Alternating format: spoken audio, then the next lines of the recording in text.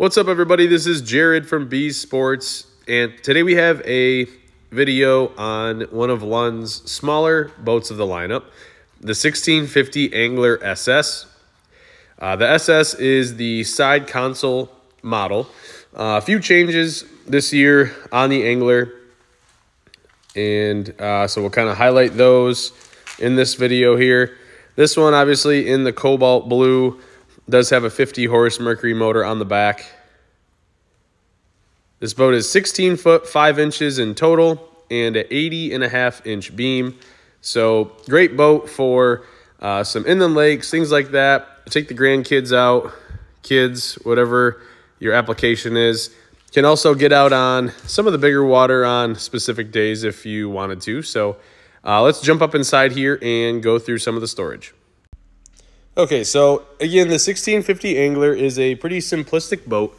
Definitely good for just fishing. You have your uh, storage on each side. It does connect through the bottom there. A little bit smaller storage in the front and your uh, trolling motor plug.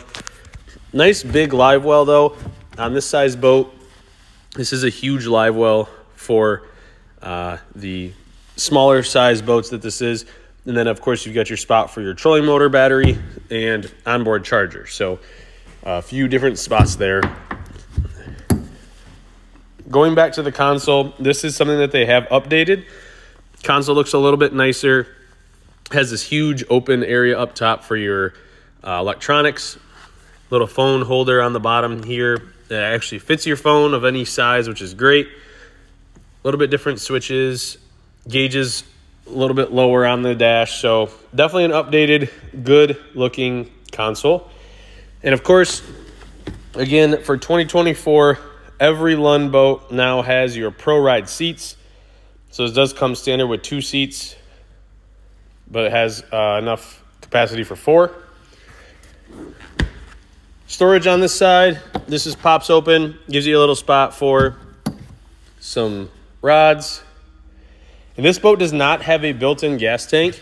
So this is going to open up and give you access to your battery and more storage. If you want to put two gas tanks in here, you certainly can. But that is your six and a half gallon tank right there. And on this side, you've got the larger size rod storage right there. So you can still put rods in here